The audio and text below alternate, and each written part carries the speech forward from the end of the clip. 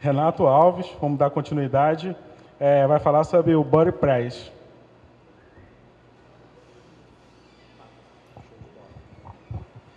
Boa tarde, desculpa pessoal. Pensei que a minha palestra era mais daqui a meia hora. Vamos lá. Eu vou falar sobre estendendo o BuddyPress. Eu resumi aqui com a classe BP, BP Component.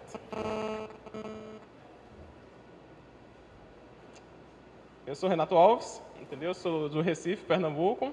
Esse é meu segundo WordPress que eu participo e também que eu sou palestrante. É, eu sou desenvolvedor, né, freelancer, tanto de WordPress como de BodyPress no Recife. E também sou desenvolvedor full stack de um projeto pessoal, que é o Inglês na Rede. E também entrei agora há pouco, recentemente, na agência canadense Socal. E também sou um contribuidor, já faz uns três anos, tanto de traduções como códigos, tanto do BBPress, quanto também do BuddyPress.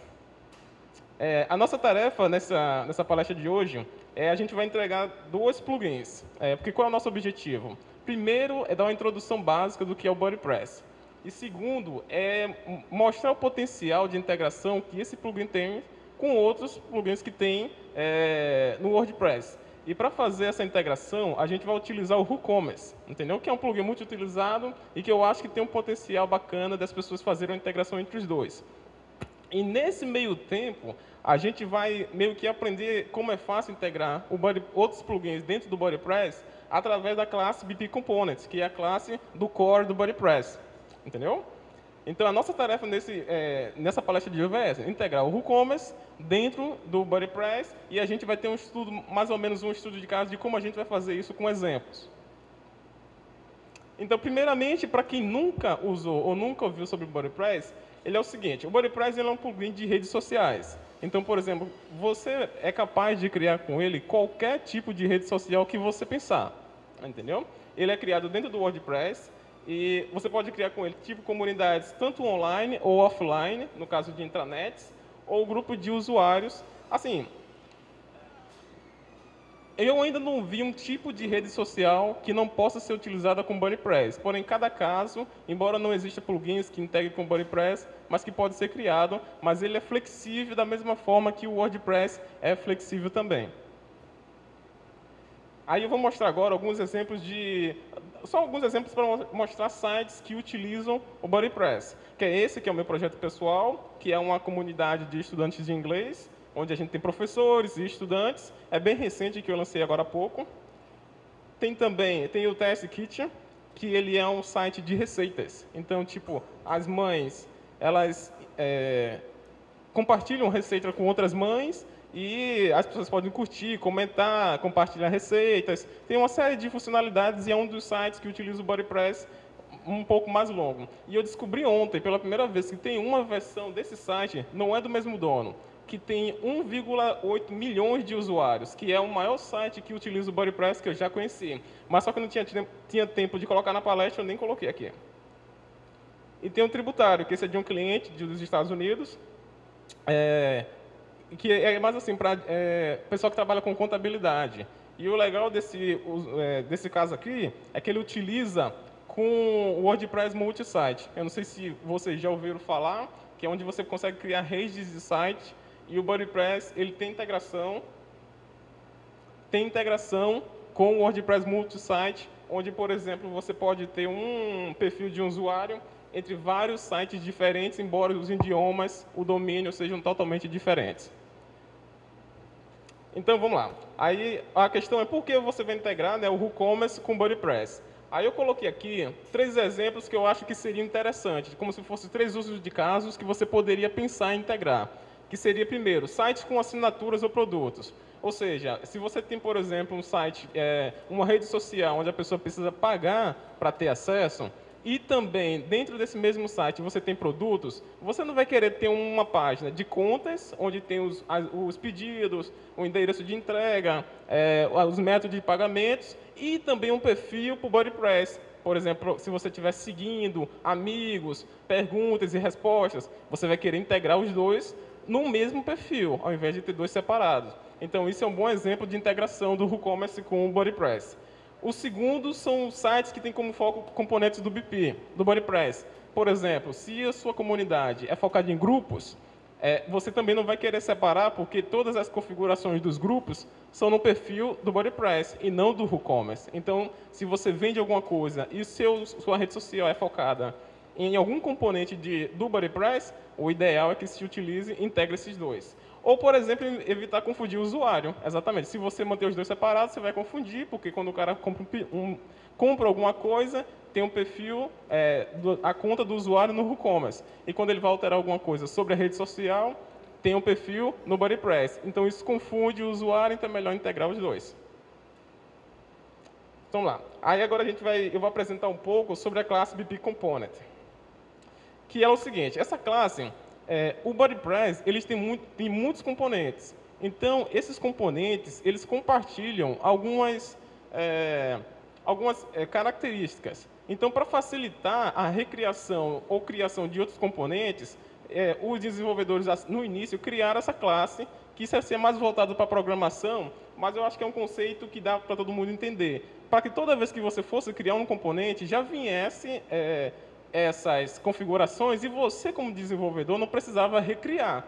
Exemplo, menus, arquivos do componente, se você tem uns arquivos padrões que você carrega, então ele já vem lá o, o carregamento desses arquivos grupos de cache, quando você tem um sites que utilizam muito cache, ele já cria o grupo para você, ele registra os post types e as taxonomies do site. Você só precisa definir quais são os post types e as taxonomies. Ele se encarrega de criar. Tabelas de banco de dados, se no caso se o seu componente que você vai criar necessita, ele já cria isso para você no padrão correto do, do WordPress. Tabelas de metadados também são importantes. Permalinks são aquelas URLs se o seu, por exemplo, comunidade ou componente do BodyPress é, precisa de URLs específicas, você só precisa definir que a classe BP Component ela cria para você e também, também regras de restrição. Então, assim, mais à frente agora a gente vai ver o seguinte, um exemplo, é, isso, um exemplo de como ela é usada no BodyPress, como a classe é usada dentro do próprio BodyPress e também como ela é utilizada por outros plugins. Então, esse exemplo aqui que eu vou dar é como é utilizada por um plugin externo. O WordPress Follow é um plugin que ele dá a funcionalidade de você seguir, porque o WordPress ele você permite você ter amigos. Então, eu te sigo, eu solicito tua amizade, você aceita, aí a conexão é feita, a gente se torna amigos. Porém, o Twitter, por exemplo, você não precisa disso. Porém, não é padrão do WordPress essa funcionalidade. Então, os desenvolvedores fizeram por fora esse componente que aqui tem até um exemplo legal, que ele está é, criando a classe, criando a classe, mas ele está estendendo a classe BP Component. Aí, a partir dali, todos os componentes que eu falei agora há pouco cria para o padrão e ele só adiciona o que é específico para é, aquele componente que ele está criando. Hum, acho que eu fiz alguma coisa aqui.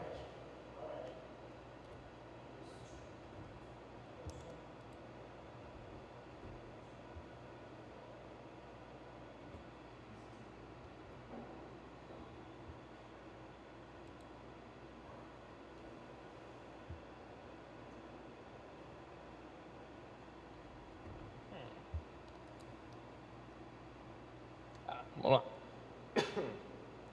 Esse outro exemplo aqui é de um cliente lá dos Estados Unidos que é, o que ele queria, no site deles, ele tem vários idiomas. Então, por exemplo, se eu sou um cara é, que cria artigos para o tributário no Brasil, então no Brasil aqui vai aparecer hum, vai aparecer apenas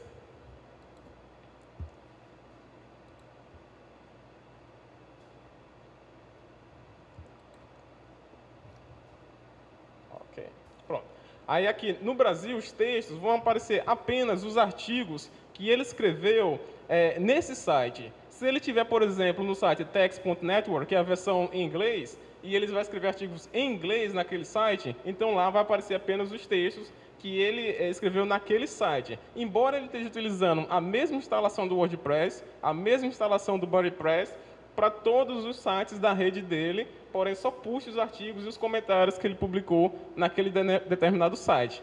Então, para criar essa funcionalidade, que isso aqui é um perfil do BuddyPress, Então, é, o que, é que eu fiz? Eu criei uma classe do BP Component, eu defini quais são as URLs. E algumas questões foram removidas que não precisavam para esse caso, mas, por exemplo, os arquivos para puxar essas informações, as URLs que para aparecer lá o nome do site, o nome do usuário, mais textos. Então, tudo foi criado com o BuddyPress, é, com a classe do BP Component, e eu só fiz apenas definir qual eram essas informações, e é, o BuddyPress ele se encarrega de criar o restante, entendeu? Aí, agora a gente vai passar assim, para uma parte mais prática, que eu quero mostrar mais ou menos como, é, para quem estiver interessado ou para quem quer ter o conhecimento, seria feita essas integrações que era a nossa tarefa nessa, nessa palestra, que é o seguinte, os requisitos de integração. A gente precisa ver, para integrar o WooCommerce com o BuddyPress, a gente precisa verificar três coisas. Quais são as páginas? Por exemplo, o WooCommerce tem a página de pedidos, visualizar pedidos, é, é, editar endereço. Tem, parece que, se eu não tenho enganado, cinco a seis páginas. Então, como é que a gente vai fazer essa conversão do WooCommerce para o BuddyPress?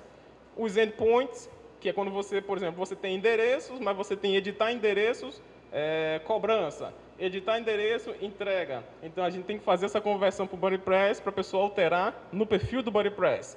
E os permalinks. Também tem a questão do conteúdo, porque quando você cria, tem lá o seu pedido, por exemplo, no WooCommerce, aí você clica para visualizar, aquele conteúdo também tem que aparecer no perfil do BuddyPress. E por último, redirecionamento. Exemplo, quando você vai alterar um endereço, ele não pode enviar o cara para é, a página do WooCommerce, ele precisa enviar pro, de um cara tava, que era no perfil do BuddyPress. Então a gente aqui vai ver alguns códigos, eu vou explicar bem rapidamente, porque a, a questão não é nem meio que visualizar o código, é mais mostrar como é fácil, com poucas linhas de código, você consegue fazer isso. Então, por exemplo, isso aqui é um, um exemplo bem simples de como eu faria. Ah, esse exemplo que eu vou dar agora foi de um caso é, no meu site inglês na rede, porque eu estava pensando o seguinte, eu queria testar essa ideia de integrar o WooCommerce dentro do meu site. Então eu pensei, vamos criar um teste. Então nesse teste que a gente vai ver aqui, é como se o usuário fizesse uma doação no site, usando o WooCommerce. Em vez de você comprar um pedido, você doava alguma coisa. Aí, para a gente criar isso, o que, é que a gente faz? A gente cria uma classe estendendo o BP Component e a gente cria por padrão qual é a nossa classe, o ID da nossa, do nosso componente e o nome, que eu decidi chamar apoio. Aí a gente define aqui só quatro filtros, que esses filtros fazem o quê? Eles modificam o endpoint, a URL da página, se você está na página do WooCommerce ou não, e na hora de você carregar o template que vai aparecer é, na página do perfil do BuddyPress. E logo de início a gente também remove a URL, a navegação do, do WooCommerce. Porque se você não remover, ele vai, vai continuar dando erro, porque essa, essa navegação não existe no BuddyPress. Tipo assim, o WooCommerce, ele tem a navegação dele e o, a gente vai usar do BuddyPress, então a gente não precisa do deles, mas o WooCommerce, por padrão, ele carrega. Então a gente tem meio que criar um hacker aqui para que, esse, que essa navegação ela não carregue e a gente use a navegação do BuddyPress. Feito isso, a gente vai adicionar algumas informações globais, que é o quê? Primeiro, a gente vai ativar automaticamente o componente. Por exemplo, quando você entra no BuddyPress, você tem que ativar os componentes que você quer. Nesse caso específico, o usuário não precisa, eu vou ativar ele automaticamente. Depois, a gente vai definir qual a URL que isso vai aparecer no perfil do BuddyPress. Exemplo, é, site barra Renato Alves barra minha conta, que é a conta do usuário do WooCommerce. Exemplo, na minha conta que vai ter lá, minha conta barra pedidos, minha conta barra edição de endereço, minha conta barra é, sair, ou minha conta barra... Ah, esqueci outra agora. Aí a gente cria, a gente define qual é o, o slug, né, se necessário, da minha conta, e a gente é, adiciona, por exemplo, aqui ele já está pegando o parent, isso é um termo mais de desenvolvimento, que diz o seguinte, pega essas informações, porque a classe BP Component já está dando conta do resto, ele já está adicionando tudo o que é necessário para fazer isso acontecer. Eu preciso apenas definir o padrão para que isso seja, é, é para que isso funcione. E aqui a gente faz o seguinte, se o usuário estiver logado, a gente pega o, a URL do usuário, exemplo, site barra Renato Alves, e a gente adiciona a slug que a gente criou. Ou seja, é, site barra Renato Alves barra minha conta. Então, de início, a gente precisa disso para que isso apareça lá no meu perfil, dentro do, do BuddyPress, no perfil dos usuários da comunidade. Aí a gente tem a questão assim, dos menus. É, eu coloquei aqui só a parte que interessa dos menus, que é o seguinte. A criação dos menus, existe um código aqui para cima e um código aqui para baixo, mas irrelevante para esse exemplo. A única parte irrelevante é o seguinte.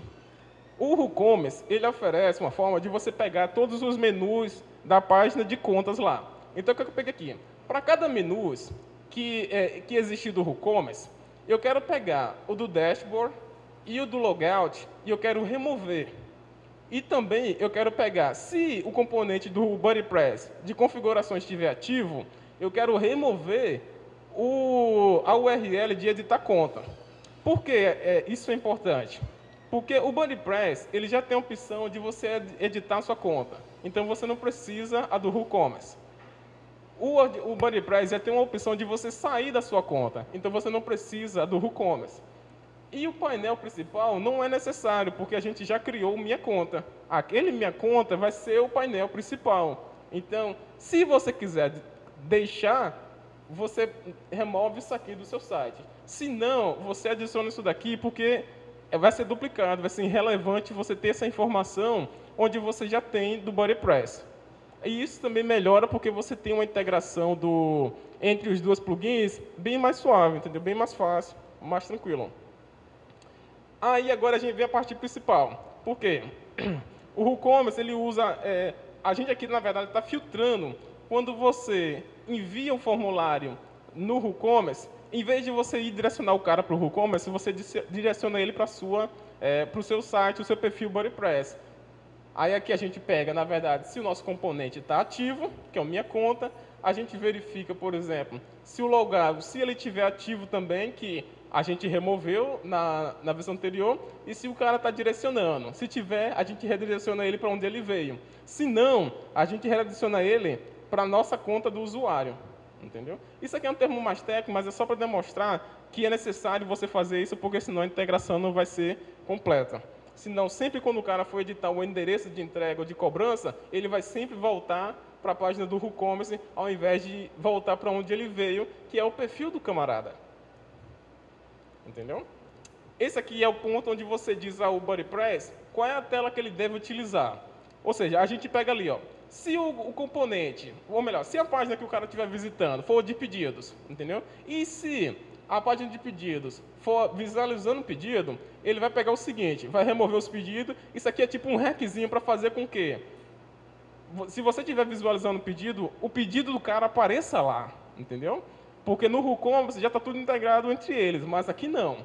Aí, o que, a gente pega? A gente remove o título, porque o BodyPress já toma conta disso. Você não precisa ter o título do WooCommerce. Caso contrário, naquela parte lá de SEO no site, vai estar é, tá mal configurado e não vai ter um bom efeito de SEO para o perfil do camarada.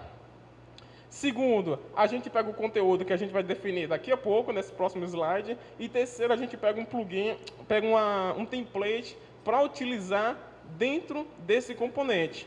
Porque cada componente tem um sistema de templates é, diferente. O padrão é o de plugins, porque isso subtende que seria um plugin. Se você tiver um template diferente, você adiciona aqui o caminho correto dentro do seu tema ou do seu plugin que ele carrega aqui. Quando a gente for colocar um, o conteúdo dentro desse WC-content, aí ele vai pegar esse é, template aqui para adicionar as informações lá dentro. Aí vem a parte interessante. Quando eu fiz esse teste aqui, é, quando eu criei pela primeira vez, faz uns, acho que uns 20 ou mais de 30 dias. Então, que foi antes da versão 2.6 do WooCommerce. Então, antes da atualização do 2.6, eu só precisava fazer isso. Eu colocava lá wc-content, que foi esse que a gente colocou aqui. Tá vendo ali? wc traz content, ele está pegando essa aqui, está filtrando o conteúdo da página Minha Conta, que você cria no WooCommerce, e as informações que está lá, ele bota lá naquela página. Depois que o 2.6 foi atualizado, o WooCommerce, ele adicionou, ele mudou a forma de você é, criar, editar e mostrar a conta do usuário. Então, tipo, se você criar, quiser criar outros endpoints por WooCommerce, você pode, que antes era mais complicado. Ele facilitou. Porém, ele também mudou a forma de você puxar o conteúdo de cada página da conta do WooCommerce. Então, depois de 2.6, teve que mudar a forma de você puxar esse conteúdo para a sua página do BodyPress. Que primeiro, o que, é que a gente faz? Que o WooCommerce, ele guarda as informações do, da página do usuário no, no, no global do, do Query Revise, do, do WordPress. Então, a gente pegava, se você tiver, por exemplo, na página de... Como é que se chama em português? De entrega. Não, é... Não. Eita. Como é que se chama essa palavra em português? Tipo assim, quando você vai editar seu endereço, tem um de cobrança, cobrança, isso, não é de entrega. Quando você estiver na página de cobrança, aí ele vai pegar o quê? O conteúdo da página de cobrança e vai adicionar. Quando você estiver visualizando a página de é, pedidos, ele vai pegar o template, o conteúdo do, dos pedidos e vai retomar na página. Quando você estiver na página Minha Conta, que essa aqui é a página do, do painel, ele pega o conteúdo e joga lá. Para todas as outras páginas, ele joga o conteúdo lá pelo endpoint. Essas são as, as únicas três opções que precisam ser específicas para essa integração funcionar. Pronto, feito isso, o que, é que a gente fez até agora? A gente criou a base, a gente criou uma forma de transferir o cara para quando ele editar alguma coisa para o template do... Para o template não, para o perfil dele, a gente é, criou uma forma de puxar o template correto para mostrar o conteúdo correto e a gente adicionou o conteúdo quando ele existia. Agora a gente precisa ajustar as URLs, porque elas ainda são diferentes. Então, primeiro lá em cima, o que a gente pega? Quando o componente da gente não estiver ativo, ele retorna a URL normal, que isso aqui está filtrando as URLs do WooCommerce, entendeu? Então, o que é que ele pega? Para cada menu do WooCommerce, entendeu? O padrão, ele não existe o visualizar o pedido. Então, a gente pega e adiciona ele. Aí a gente pega todas as URLs do WooCommerce, adiciona a de visualizar pedido e a gente coloca aqui nessa variável. Aí a gente pega, se ele existir, a gente adiciona o seguinte. O padrão, o de pedidos é o seguinte, site barra Renato barra pedido. Porém, ele vai entrar em conflito. Quando você tiver site barra Renato barra pedido e o número do pedido. Aí a gente adiciona uma, uma, na URL pedidos. Aí, ao invés de aparecer site, é, site barra pedidos barra o número do pedidos, a gente adiciona o domínio do usuário. Entendeu? O que a gente está basicamente dizendo aqui é o seguinte: ao invés de você mostrar o URL do WooCommerce, eu quero que você mostre o URL do perfil do usuário que está logado naquele momento. Então, se tiver for Renato, vai aparecer lá o nome do site, mais Renato, mais a URL do WooCommerce. Entendeu? Ou a sua URL e assim sucessivamente. E aí, para encerrar, o que, é que a gente faz ali? A gente cria, isso aqui é uma forma que todo desenvolvedor vai ter uma forma diferente de fazer, mas basicamente eu adicionei a minha classe, que é o meu componente, ao, a uma variável que está na raiz do, do BodyPress e adicionei isso numa action. Então, em algum lugar no meu, no meu, no meu plugin, eu coloquei o componente e fiz, a, a, adicionei literalmente, entendeu? Feito isso, o que, é que vai acontecer? Que esse aqui foi o exemplo que eu dei. Então, por exemplo, aqui eu estou no meu perfil meu, da minha comunidade, tem aqui os outros componentes, como configuração, seguidores, com o componente do BodyPress Forum, seguindo, meu perfil, atividades nas turmas e apoio. Nesse meu componente de apoio, eu tenho as URLs do WooCommerce, que é painel, pedido, downloads, endereço, detalhes de conta e sair. Que nesse exemplo aqui, lembra que eu falei que era para remover, mas eu deixei apenas para mostrar, entendeu? que em algum outro, aqui nesse caso aqui não aparece, mas aqui em cima tem uma opção de você sair. Esse detalhe de contas não precisa, porque tem configurações do próprio BodyPress. Então, assim, eles são irrelevantes, mas está aqui só para aparecer. Então, nos pedidos, aqui está todos os pedidos de teste que eu fiz, entendeu? Que é no mesmo sistema do WooCommerce. O pedido, a data de quando foi feito, que essa aqui eu fiz, é hoje ou foi ontem. É...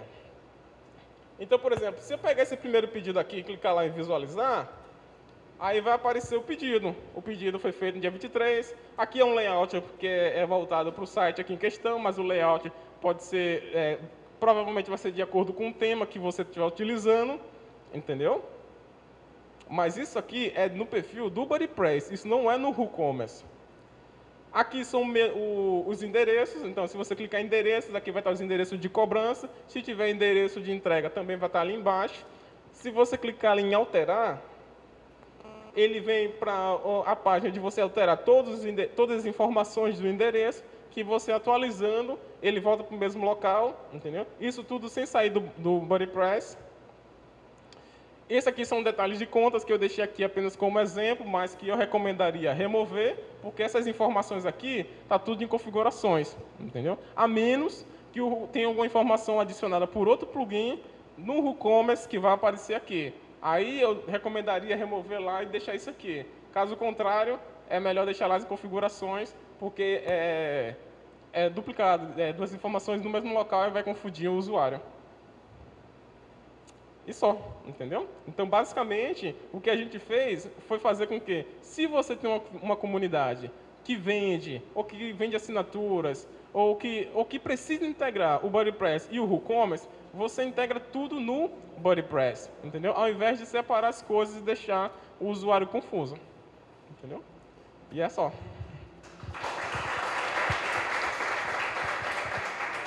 Ah, alguém tem dúvidas? Foi um pouquinho técnico, é, concordo. Show de bola. Mas se aparecer alguma questão, fica à vontade em conversar com o Renato durante o intervalo. É legal que esse conteúdo ele já casa com o que o Leonardo falou, que ele falou sobre a parte mais de marketing, de planejar o negócio. Aqui você já está trazendo uma ferramenta né, que já casa com para colocar isso no ar. Então isso já ajuda, né? essa questão aí que eu fiz foi por um caso pessoal, mas eu pretendo lançar um plugin, tipo assim, onde o usuário não precise fazer isso. Ele vai chegar lá no, no repositório de plugins do WordPress, baixa e faz tudo automaticamente sem ele precisar pensar em nada com poucas configurações. Isso é algo que, assim, eu não sei se tem necessidade de pessoas fazerem isso, mas que eu acho que se tiver, vamos lançar lá. Show de bola. Dando continuidade, a gente vai ter agora a palestra com a Ana, que ela vai falar sobre como criar conteúdo de qualidade.